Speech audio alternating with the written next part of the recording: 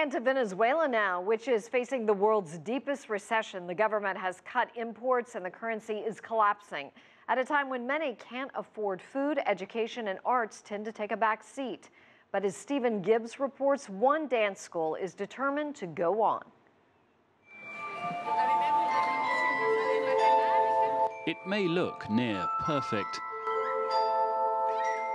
those in the know can tell that something's not right in this ballet school.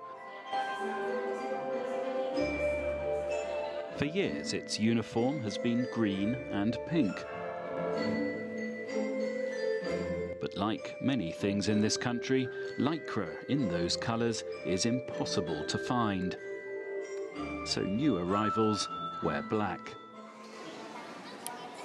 It's just one example of how Venezuela's drastic cut in imports really does reach every corner of life here.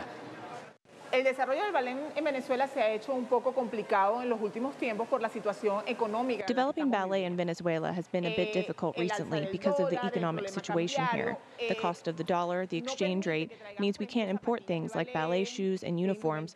All of that is in dollars, and the exchange rate makes it all very expensive.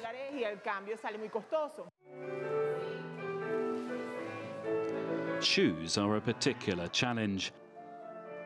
Notoriously delicate, they can last just 15 days. The younger ballerinas use simple versions made in Venezuela.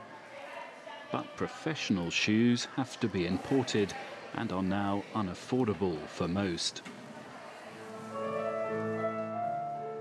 All this does beg a question. Shouldn't a country which is struggling to import enough food to provide for its people just stop worrying about things like ballet? No, if you develop the culture and education of children, then the development of the country will follow.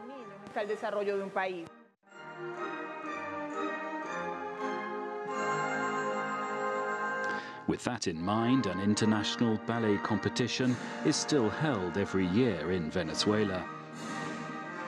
Partly owing to security fears, this year just one foreign competitor from Costa Rica took part.